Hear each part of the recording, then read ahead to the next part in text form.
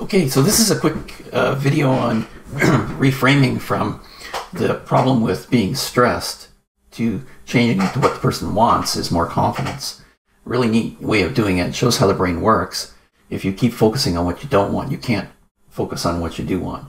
Uh, really neat way in which he does it, and the outcome is amazing. So uh, have a look. I put some markers in the different areas where things are happening. Enjoy the video. So like, I put more stress on myself than I should, All right. And like I regret a lot of things that I don't do.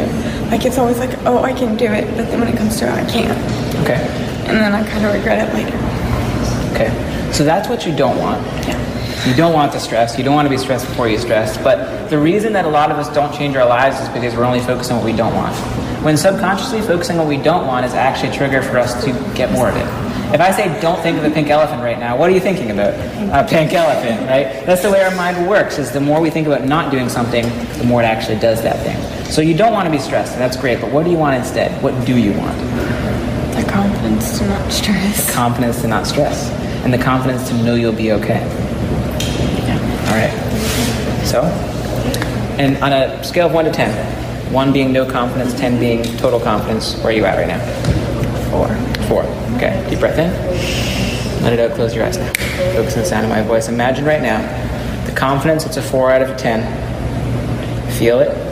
Body it. Breathe the way you breathe. Stand the way you stand. Feel the way you feel. Four out of ten. Imagine it's bumped up to a six.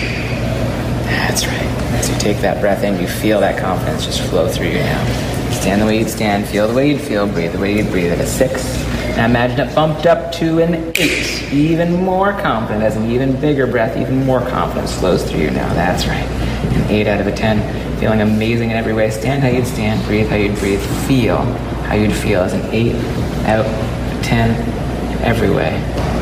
That's right. Those bigger breaths mean bigger confidence as you bump it up now to a 10 out of 10. That's right. Biggest breath of all, meaning the biggest boost of confidence of all. Stand how you stand, breathe how you breathe, feel how you feel. 10 out of a 10. Nothing can get in your way. Because failure is part of life. Failure happens. Failure does not and will never change your worth, your value, your significance, or your unique, special purpose that you have in this life. Confidence is not that you'll never fail. Confidence is deciding you're unstoppable, even if you fail.